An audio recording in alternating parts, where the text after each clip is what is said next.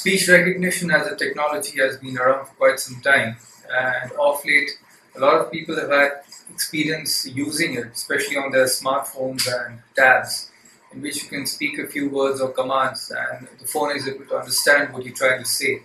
But by and large, last past few years, the available heavy-duty commercial speech recognition softwares have had this problem that you had to sit down and train the software for an hour or two hours or even more for it to be able to give you a certain level of accuracy.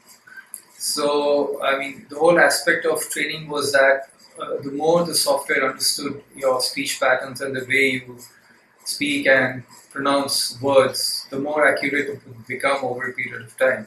So, this problem of having to train speech recognition softwares has been a main stumbling block for it to be acceptable in a real world scenario where hundreds of users are able to use it at the same time.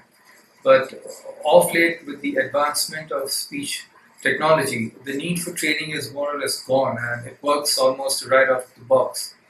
Now, what is interesting is that you have speech recognition capabilities now within your web browser. So the web speech API specification, which has been around for the last couple of years, allows your browser to do speech recognition.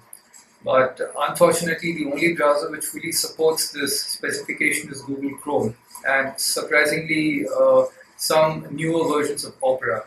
So if you're using Internet Explorer or Firefox, you can't use speech recognition. But it's not really a problem because Chrome is available in all major operating systems and also on mobile phones have a look at how good it really is. So uh, what we have here is a small demo page which shows the capabilities of the web speech API. As you can see it has a long list of languages. It more or less supports all the major languages of the world and wherever relevant it also gives you the option of choosing the accent for that particular language.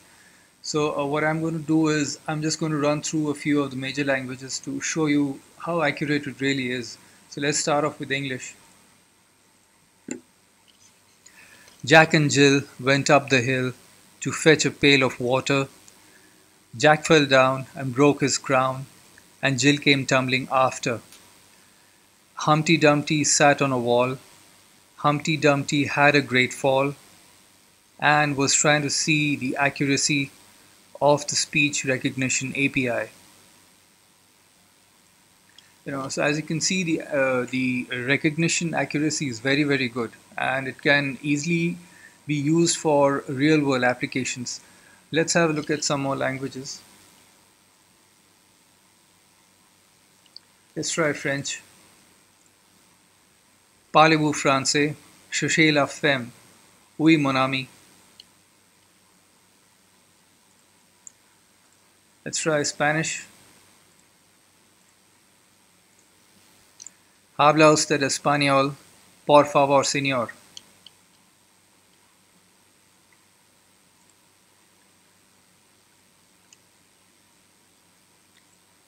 Let's try some Russian.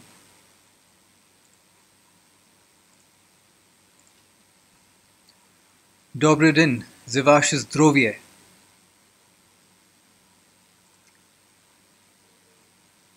And uh, let's also try some Japanese. Sumimasen, hajimamashite. And finally, I think this is the last one which I'm going to go through. It's Hindi. And here we go.